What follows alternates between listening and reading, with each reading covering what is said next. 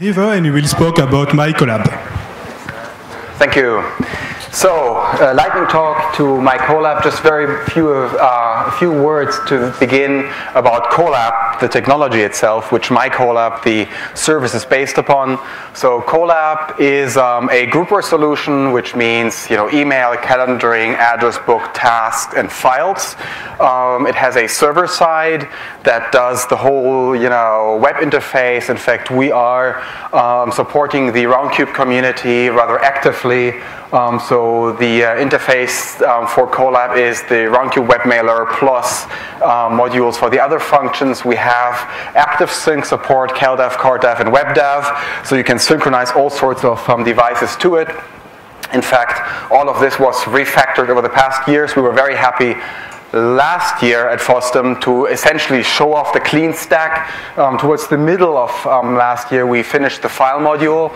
And um, so this is now the very first time that we have the full refactor stack on the server side. Kolab itself is a bit older, in fact, by now. It goes back to 2002-ish, um, when the German Office for Information Security, which is part of the German government, required a groupware solution that they could trust, um, that they could use for their own in-house purposes, and to them that meant it had to be 100% free software, and it should be as open standards based as humanly possible. And um, the result of that development project that came out of this was Kolab, which then turned into the Kolab solution and has been evolving from there. Kolab Systems, which is where I am the CEO, was founded in 2010 in Switzerland, and we are now the primary developer in an open community process of the Kolab technology. Um, it is important to us and hopefully also to you that Kolab is 100% free software. There is no proprietary component anywhere. Also not in the enterprise version. There's also no relicensing, none of that stuff going on, right? None. And that's important to all of us. It's close to our hearts.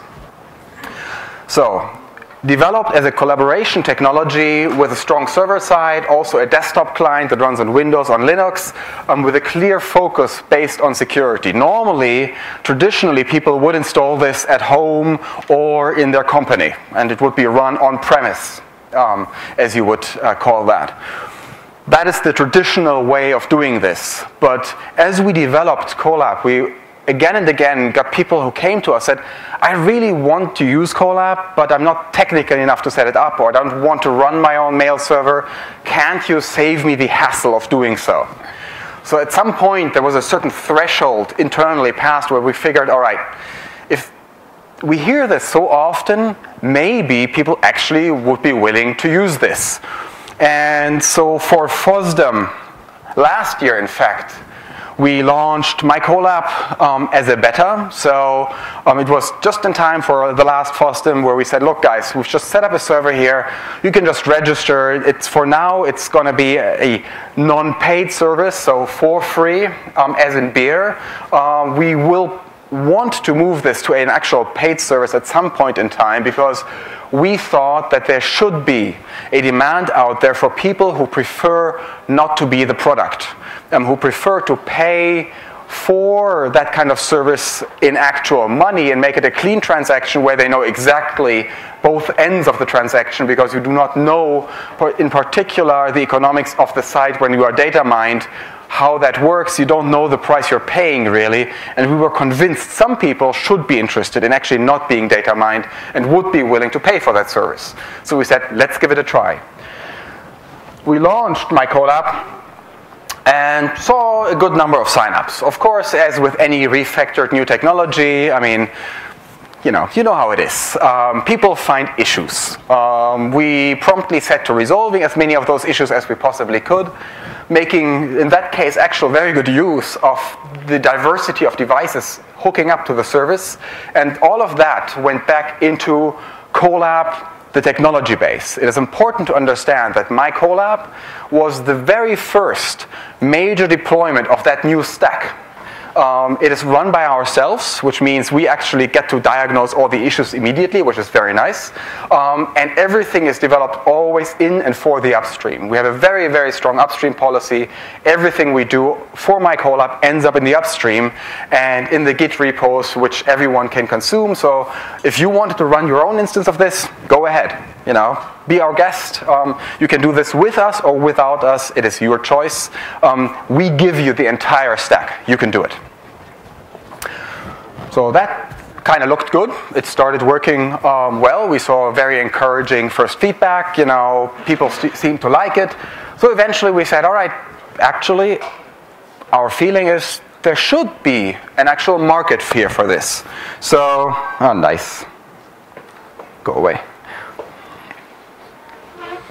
So, you know, we set it up. Um, of course, um, we set it up um, as best we could. I mean, this is um, our SSL um, test result from Qualys.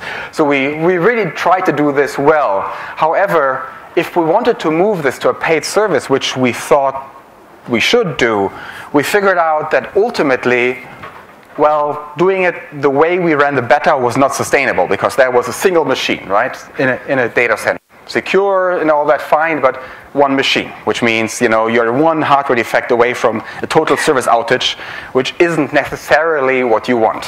Especially when people pay for it, they have a right to demand a higher availability. Therefore, we figured, all right, we need to make this more sustainable. Also, that rating means very, very little if you do not control the entire chain. Um, I mean, an attacker will not attack your strongest spot. They will attack your weakest spot typically. They rarely ever do you the favor of attacking where you have built the gigantic fortress. They try to find the back door. Um, and that means for any such service, of course, that first of all, the data center should be secure that you're using. Secondly, if you don't have physical control over the actual hardware that is running the service, you do not even know what is going on. So if you just rent out some server somewhere in a data center where you have no knowledge of who has access, physical access to your machine, you don't really know whether that rating means nothing because they already have the certificate and they're sitting in the middle of it. So we said, okay, we need to do this with hardware. And somewhere in the more murky regions of our company group, um, we actually found um, a set of unused hardware uh, that was old but redundant enough. Um, so, I mean, meaning we could lose a couple of those and still have enough power to actually run this for the number of users we saw at the time. And we figured, all right, let's give this a try. So we, you know, not having a um, transporter that day, we loaded it into the car. Um, and no, it is not meant to actually sit that low. Um, I mean, this, this stuff is really, really heavy. So we had some fun, you know, carrying it out of one data center, carrying it into the other data center, setting it all up, you know, making it all nicely um, puppetized and, uh, you know, remote controlled. Uh, Jeroen, who's sitting here in the middle, is the, uh, uh, the head behind a lot of that. Um, exactly, that guy who's also our system architect, by the way. So if you have actual deep technical questions, that man. Um, so he set this up so that ultimately these physical servers would behave much in the way that you would expect virtual servers to, uh, to behave in the sense that they came up, you know, they got their IP address, they pulled down their images, they got their provisioning, they got the functions that they should have, all nicely automated, spinning up and down as required. Um, that was all sweet and dandy. We set that up um, solidly on a enterprise Linux stack at the time, although I think we used CentOS for that one. And so, you know, started to, to, to move this into production. And actually, literally, we're carrying this back into the other data center where it was running for a while. Um, when Mr. Snowden released his revelations, it was literally the same day. Um, so effect effectively, we realized, oh crap, um, we're probably not going to be able to use that hardware for very long um, to begin with. Um, but secondly, of course, we suddenly saw a dramatic spike in interest. So the, the um, proposition which we thought would actually be interesting to people, namely run a service where you're not the product and, and get um, you know, someone to not data mine you and actually give you the best privacy they can give you um, suddenly became a whole lot more appealing to quite a few people. And um, I mean, one thing that totally took us by surprise was, for instance, when PJ um, decided to shut down Grok And I mean, I've known PJ for quite some years. I've written for Grok in the past, and um, PJ and I have been in contact for a long while. And at some point, we just saw this massive spike in traffic on, on, the, on the web server, and we're trying to figure out what's going on. And before we even knew it, um, that machine, which was running, I think, a Drupal instance, um, effectively just went out of memory and um, killed itself. Uh, at which point in time on Twitter you saw all the uh, conspiracy theories about the NSA haven't gotten to us now um, that PJ is with us because um, ultimately, you know, obviously now we are the prime target. Um, it wasn't quite so dramatic, it was actually just a web server that we couldn't scale up fast enough since, uh, frankly, um, that spike really, really surprised us. Now, what we saw actually, um, and this is the actual like uh, IMAP storage space. Um, can you spot where that happened roughly? I mean, it, it, the effect we saw was dramatic. I mean, seriously dramatic. Um, so um, it's been going up um, quite um, strongly. You see the, the little hitch where we threw out the beta users who did not convert to actual full users, but um, it's been growing dramatically ever since. And strangely enough, for us, what we have seen is that people who previously did not understand the benefit of free software started getting it um, because they understood suddenly that there is something about controlling the technology. People who had never cared about this suddenly started using the service, which also means, by the way, that we now got a whole lot of other issues to deal with from users because those were usability issues where you know someone expected things to work in a certain way and just tried it out and somehow it didn't magically behave exactly that way.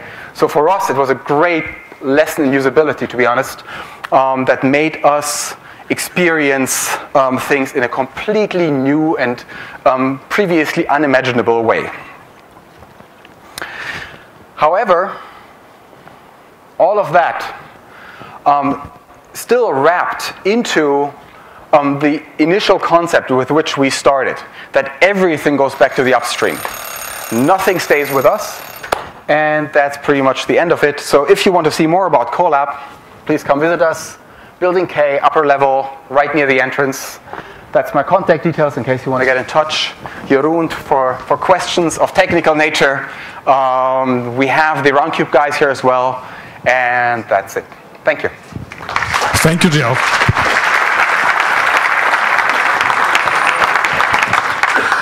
If you have some question, you can uh, ask him just uh, outdoor uh, the room.